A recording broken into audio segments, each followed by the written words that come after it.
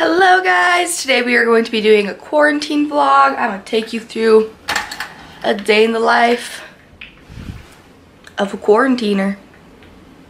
We're going to start out with cleaning this room. I just need to make my bed. I'm also going to throw my duvet in the wash.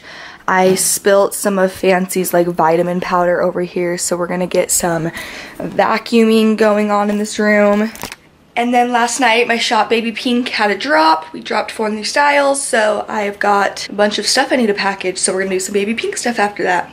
First things first, I have got to open these windows, get us some natural light in this house. Beautiful. And I also need to get my coffee started.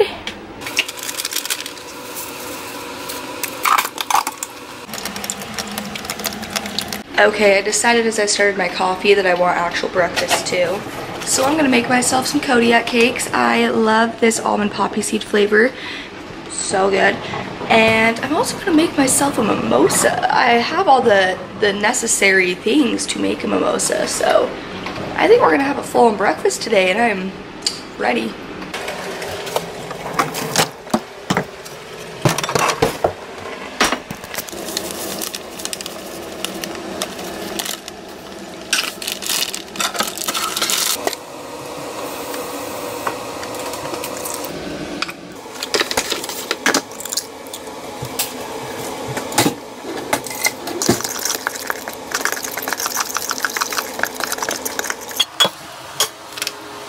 While the pan is heating up, I'm going to clean my room.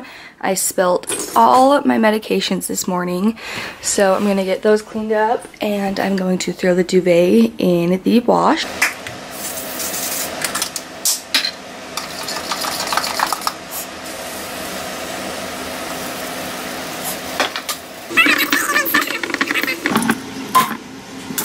I actually bought these cute little champagne flutes too from Target in the dollar section not too long ago. It was like a pack of like three or four of them for three or five bucks.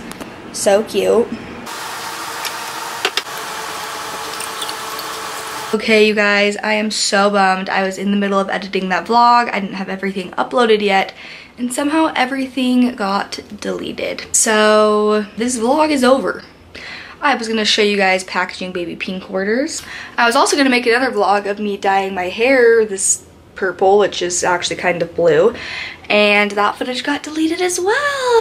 I will though quickly show you guys what I used to dye my hair just because I'm getting a lot of questions about it. I used this viral shampoo and it looks blue, it came out blue, it's like blue on my hair, but it says lavender and I ordered lavender so I don't really know, but yeah, you can try this viral shampoo. I used the hot pink one, like the fuchsia when I had my pink hair, and I would just dilute a tiny squirt of it into um, all my shampoo and that's how I maintained that kind of like light pink color. So yeah, I like the viral shampoos. I've also tried Overtone. Last time I did my hair purple, I had to use the Overtone conditioner.